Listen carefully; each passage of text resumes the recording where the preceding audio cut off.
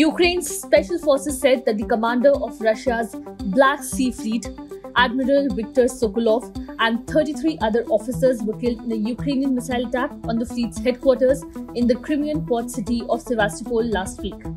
The killing, if true, is a major blow for Moscow, which has faced several attacks on the strategically significant port of Sevastopol in the recent months.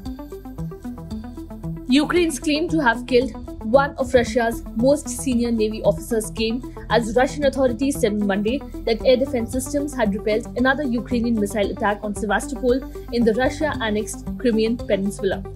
Russian air defense units downed a missile near the Belbek military airfield, the Moscow installed governor of Sevastopol, Mikhail Razvozaev, said on the Telegram messaging app late on Monday. 34 officers were killed, including the commander of the Black Sea Fleet. Another 105 occupiers were wounded in the attack last week, said Ukraine's special forces.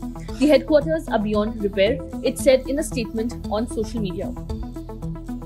Last Friday, plumes of black smoke were seen billowing from the building under attack in central Sevastopol, Crimea's largest city.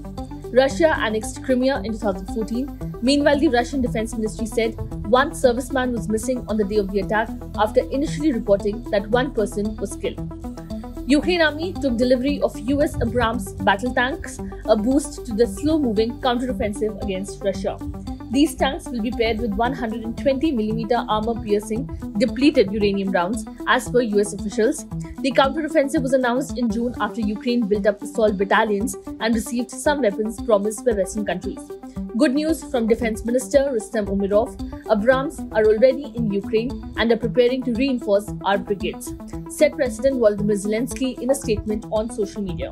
While the report did not name Sokolov, Anton Gerashchenko, advisor to Ukraine's Minister of Internal Affairs, posted the admiral's name and a photo on social media. Russia's defense ministry had yet to respond to requests for comment regarding Ukraine's claims of killing Sokolov.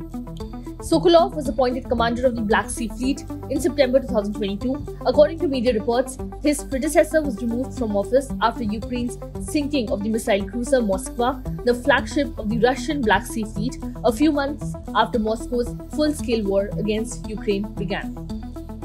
Ukraine Air Force conducted 12 attacks on the Black Sea Fleet headquarters, targeting areas where personal military equipment and weapons were concentrated. It said that two anti aircraft missile systems and four Russian artillery units were also hit. Kiev has stepped up attacks in the Black Sea and on the Crimean Peninsula as its forces press on with the nearly four month old counteroffensive to take back the Russian occupied territory. Russia's defense ministry said later on Monday that its air defenses had repelled several Ukraine drone attacks over the Russian regions of Belgorod and Kursk, destroying at least 11 drones in total.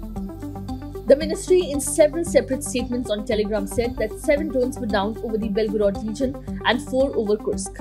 Russian territory, including the capital Moscow, has been subject to numerous drone attacks in recent months. Subscribe to One India channel and never miss an update.